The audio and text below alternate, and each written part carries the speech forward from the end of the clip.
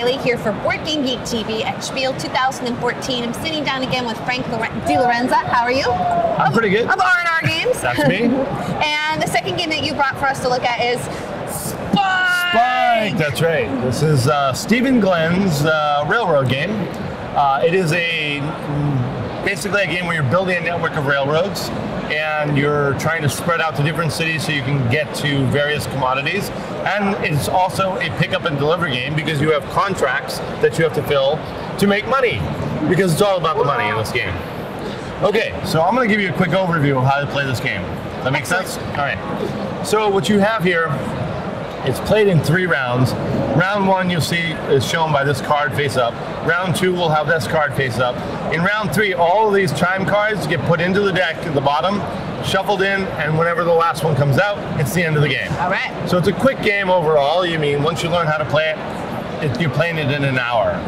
Uh, you might take a little longer on your first run through because you're learning the game. Each round is basically going through this deck of rail cards. The rail cards are what allow you to build onto the, the um, board with your little tracks, the cool little tracks that we have here. Ah, yes, I'm noticing right. that rail cards have different colors That's and right. symbols. They match I'm the guessing different type of rail directions on the board. Got it. Yeah. You also have, of course, a little locomotive as your score piece, and you have another little locomotive somewhere around here. Right there. there it is. In my start city. I chose to start in Columbia. Now, there's a lot to this game, but it's not that hard. You, what you have here, I have started with three contracts. Basically, you get an equal division of contracts among the people that are playing the game. So there are 12 different commodities. They're all represented up there on the chart. Right now, they're at different prices, three, two, and one. So on my turn, I have to do one action and only one action, okay?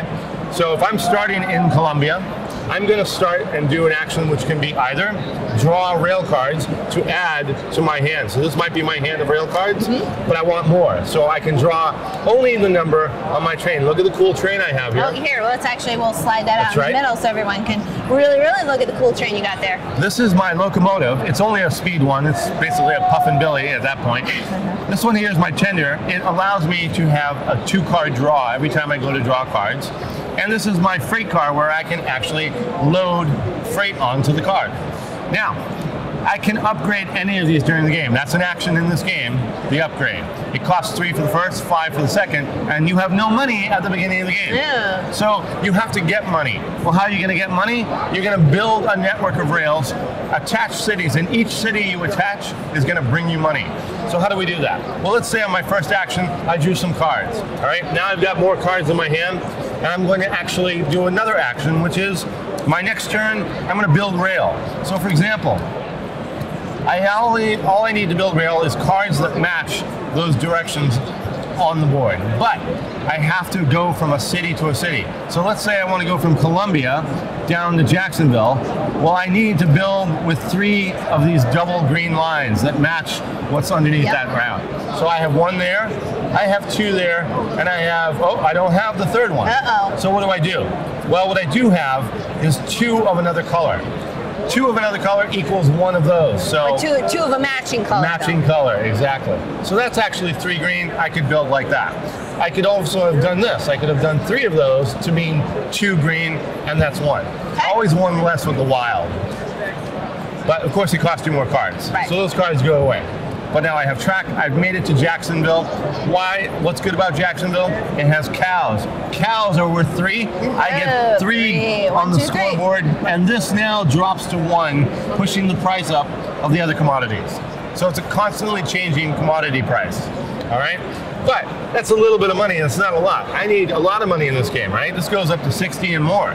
So how do I get that? Well, I have these contracts, and each one has a little box car that goes with it. So, uh, unfortunately, I don't really need to be in Jacksonville. What I really needed to do was pick up my uh, fabric from Columbia because I have a fabric contract. So maybe I'm bringing it to Jacksonville. I don't think I am, but what I can do as another action is actually start my train.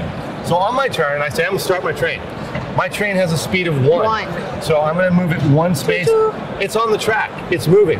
From now on, every time it comes back to my turn, that train's gonna move again. So let's say it's my turn again, I move it for free, one, and I still get a new action. Pretty cool, huh? Yeah. So you get that train moving, it's keep moving. Li- Now- literally has momentum. Oh yeah. now it's picking up steam. It gets to Jacksonville. There's no more track. What do I do? I can go into Jacksonville if I want, but I don't have to.